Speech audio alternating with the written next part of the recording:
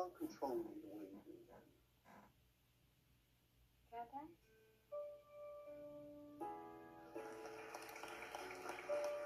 I'm going to bed. No, we're not done here. This breaks my heart. What is the Maximoff anomaly? The what? I have to believe that this, whatever this is, was subconscious at first, and that you only recently became aware of it. Aware of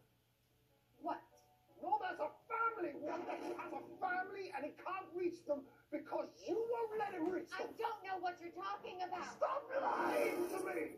This, all of this, is for us. So let me handle it. What is outside of Westview? You don't want to know, I promise you. You don't get to make that choice for me, Wanda! You've never talked to me like this before. Before what? Before what? I can't remember my life before Westview. I don't know who I am. I'm scared. You are my husband. You, Tommy, and Billy's father. Isn't that enough?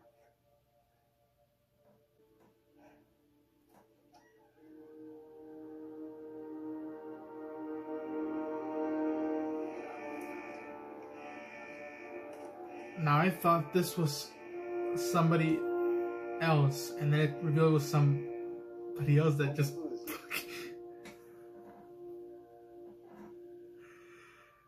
you think it's one thing, and then.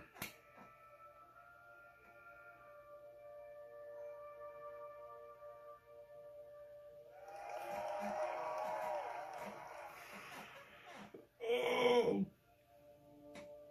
Long lost bro get to squeeze his stinking sister to death or what? She recast Pietro?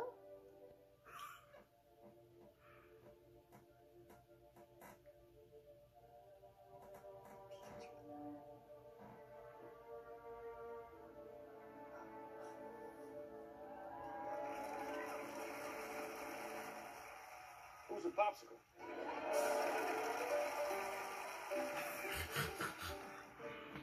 Oh my lord.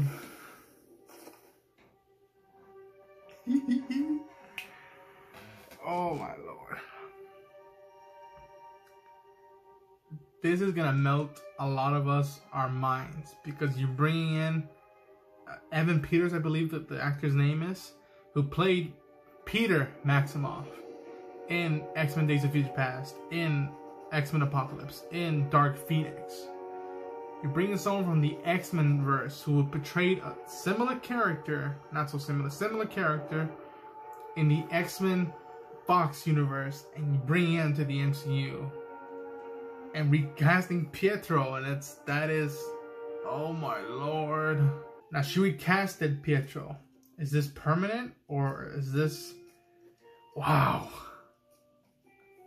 That's it for my review slash reaction. I adore this episode. Uh, it broke my heart to it warmed my heart to see them as a family ish. But you know this isn't real. A figment of imagination.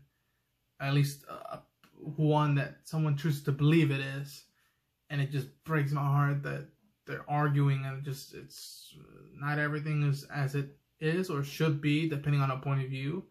And you just get twisted up with Pietro coming into the show, and it's wow. The fact that Sword tried to nuke uh, uh, tranquilizer or something like that, and it's you see how you you feel for Wanda, you understand why she's doing this, but it's not the right thing to do. It is wrong. Like Vision said, it is wrong what she's doing, and I just hope there's some resolution, a peaceful re- resolution where I I ugh, I can't even speak now. Thank you so much for watching the video. If you checked it out, uh, hit the like button if you like it. Subscribe to the channel. Leave your comments down below what you think of the episode, what you think might happen next on, and... Whew.